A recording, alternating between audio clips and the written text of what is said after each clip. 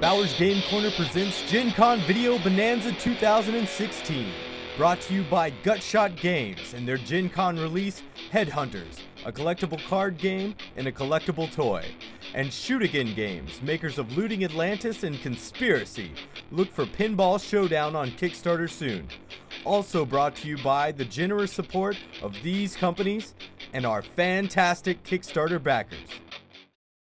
Ahoy there, YouTube! I'm back again today for more of our Gen Con Bonanza Explosion Blowout coverage. We're here live at the Indie Board and Card slash Action Phase Games booth, and we're about to talk with Travis about their new game, Grifters. What's Grifters?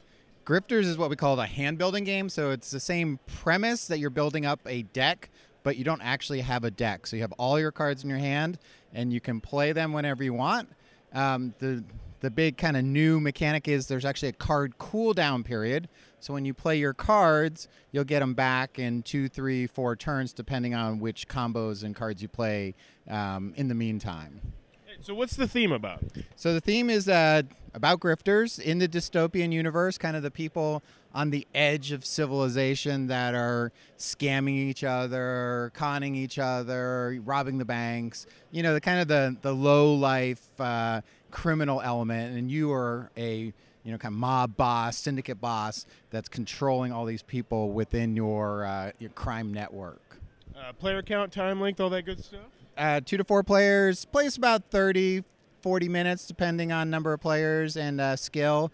Um, it's very much a kind of actions on card game. So the first play takes you a little bit to kind of get up to speed with all the different cards, but once you've played it a couple times, you can whiz right through games. And this is out now, or is it coming out soon? This is coming out soon. Um, Kickstarter backers should get their fulfillment you know, right here after Gen Con, and then it should hit retail end of the month. I'm hoping still, crossing fingers. We need to get to warehouse tomorrow, so we'll see if that happens. Very, very cool. Thank you, Travis. That is Grifters from Indie Board and Cards. Looks like it might be a cup of tea. Be sure to check that one out. If you're enjoying this Gen Con coverage, please be sure to click on the subscribe button down below in the comments below. Let me know if you were a grifter or a hobo in general. Would you stay in one place, you know, kind of plant your tree? Or would you go about? Would you explore the country? What would you do? Uh, I'd probably go exploring. Yeah. I, am not really a tree. Yeah, I feel like it would be easier just to stay in one place and get comfortable. I would rather just explore. You know, who knows? We'll see what happens.